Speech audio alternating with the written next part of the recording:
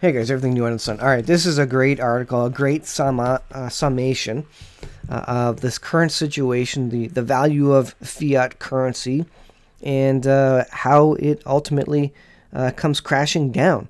Is zerohedge.com, excellent article. I'll put the link in the description. I'm just going to read uh, portions of it because this is significant. This is something you need to understand. Throughout history, many commodities have been used as currency. So this is all part of the bartering Cows, beads, and seashells have all been used in trade, so bartering. This is uh, also something you should be prepared with. In the event of economic collapse, you need stuff that you can barter with. Food, chickens. Uh, food is going to be huge because when it gets that bad that you're bartering, uh, people are going to be looking for food. Ultimately, they don't. They're not going to care so much about gold and silver necessarily. They're going to want something they can eat. Um, or, or burn in a fire to keep warm, etc. They're gonna they're gonna require the basics. Paper currencies is simply more convenient when buying a pack of gum at Walgreens, but it isn't money. It's simply an IOU. The US government has designated the dollar as currency, while at the same time arbitrarily attributing some type of value to the dollar. So the, the Federal Reserve basically sets the value of the dollar.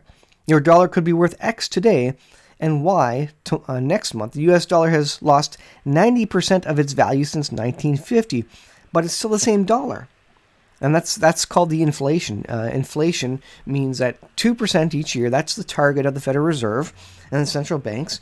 Uh, your money uh, loses two percent of its value every single year. So if you have thousand dollars in the bank, it loses two percent of its purchasing power every single year.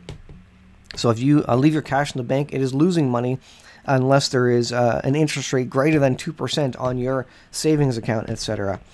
The Federal Reserve, like most central banks, continues to print fiat currency at unprecedented speed. They're printing it out, out of thin air. There's no backing to it. There's no uh, uh, tangible asset. There's no nothing of value actually backing it. They're literally just using their printer to print dollars because they can, and no one's complaining about it.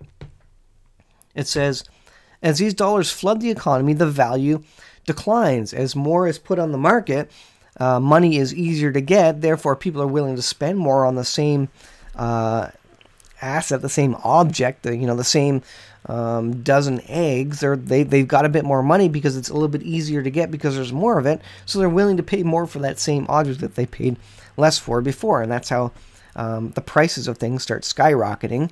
And if you have runaway inflation, well, uh, that means you're, you're uh, literally carrying wheelbarrows of money around to buy a dozen eggs. Well, fiat money has been around for hundreds of years, and many of many of them have vanished due to hyperinflation. Look at Venezuela uh, right now. That's exactly what's occurring. Precious metal, especially gold and silver, is the only real money because it's always valuable. It's useful in manufacturing. It's held its value through 6,000 years of human history, so it has a excellent track record. It's always worth something to somebody. When currency loses its value, for anyone paying attention, the Venezuelan Bolivar has lost 96% of its value in just one year. Gold remains what it, uh, it has always been real money and a genuine medium of exchange. So when you uh, give a gold coin to somebody, you're not giving them an IOU. You're not giving them a piece of money, a piece of paper with one dollar stamped on it. You're giving them something that that person uh, can ha- hold as an asset or trade away in uh, trade for something else of equal value.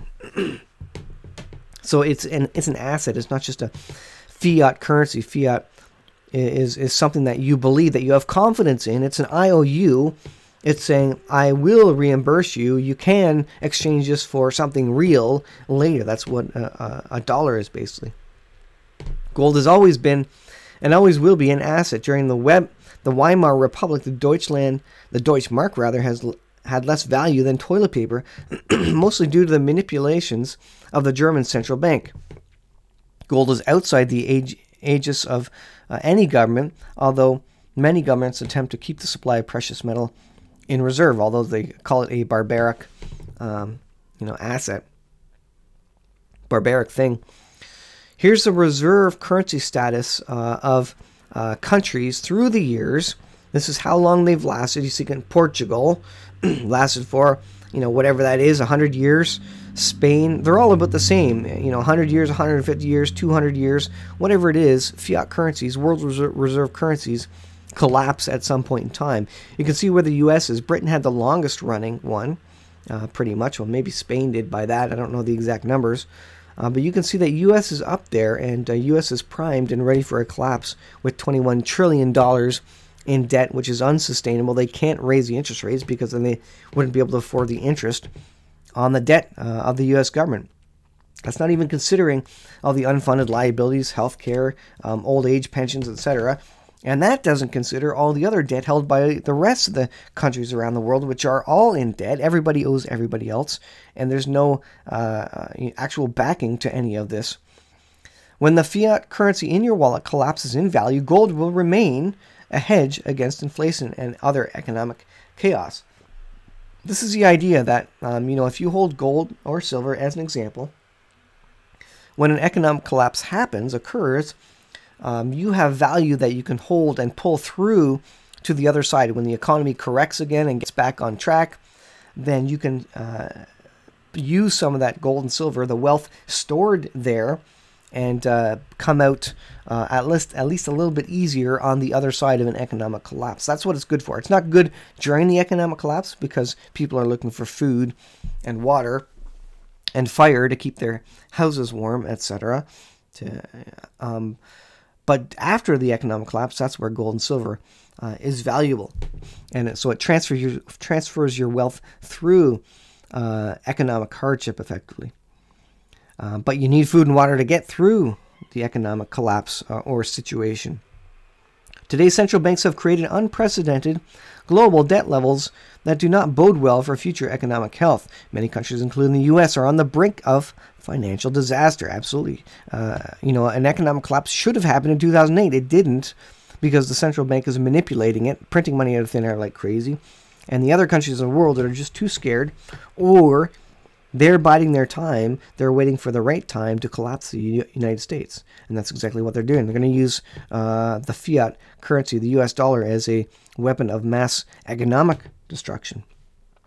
These governments will attempt to solve the problem by printing more fake currency and devaluing it even more. The value of gold may fluctuate according to the value of fiat currency, but it cannot be devalued at the whim of the Federal Reserve. It's not going to go down to zero. It will never go down to zero because someone is always going to be willing uh, to trade or pay for it. Gold is a genuine commodity with real value, it says. It is recognized worldwide as real money. Fiat currency is a crapshoot, it says, depending on how the winds of government uh, blow if they want to increase its value, if they want to decrease its value, etc.